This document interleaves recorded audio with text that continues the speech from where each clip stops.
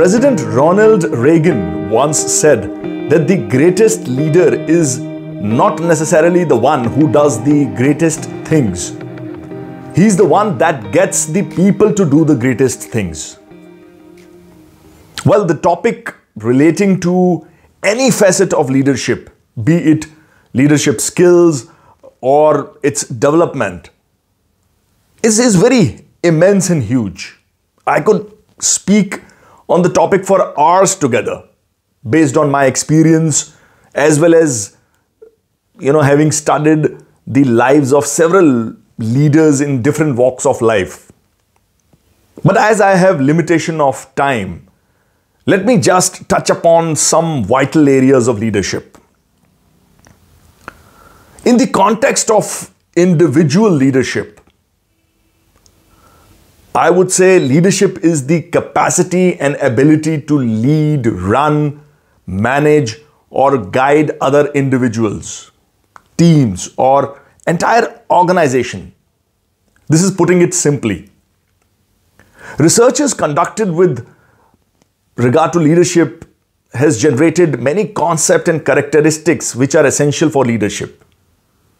According to me, there are 18 characteristics attached to a good successful leader possessing some exceptional qualities, interpersonal dealings, crisis management skills, timely responses, spontaneous actions, defining roles, performance, conduct, behavior, power, mission, vision, goals, uh, sensitivity, compassion, and intelligence. My research shows that any good and successful leader should have minimum 10 exceptional characteristics.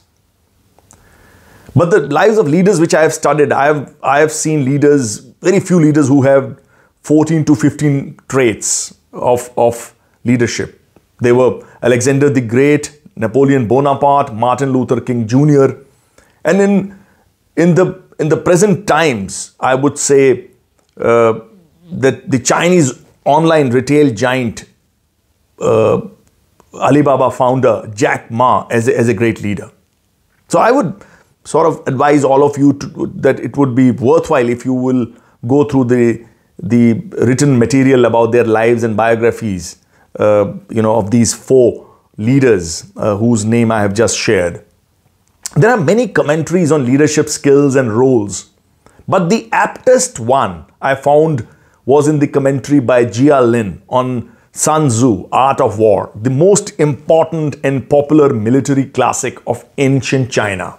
You must read the translated texts of The Art of War. Jia Lin, interpreting the text, says that leadership, listen carefully, that leadership is a matter of intelligence. One, trustworthiness, humaneness, courage, and discipline. Reliance on intelligence alone results in rebelliousness Exercise of humanness alone results in weakness. Fixation on trust results in folly. Dependence on the strength of courage results in violence. Excessive discipline and sternness in command result in cruelty. One, one, when one has these five virtues together, each appropriate to its function, then one can be a leader.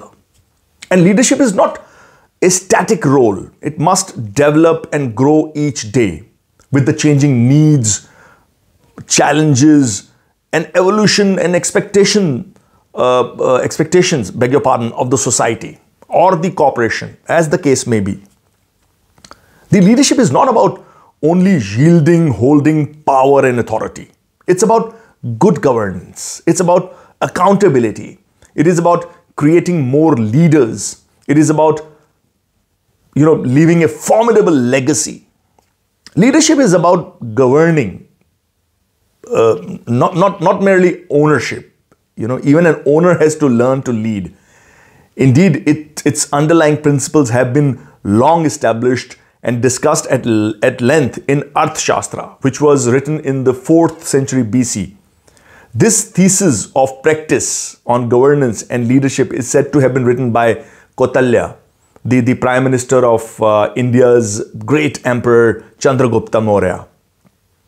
In the context of leadership, one could draw the crux and core from the mulyas or values found in Kautilya's Arthashastra, which reads as Praja Sukhe Sukham Rajya Prajanamacha Hite Hitam Natma Priyam Hitam Rajanaha Prajanam Chayatam Priyam, which means in the happiness of his subject lies the king's happiness. In their welfare, his welfare. He shall not consider as good only that which pleases him alone. So, I'll close by saying that leadership is a way of life and not a set of rules, a way of life that necessitates taking into account the interest of all concerned.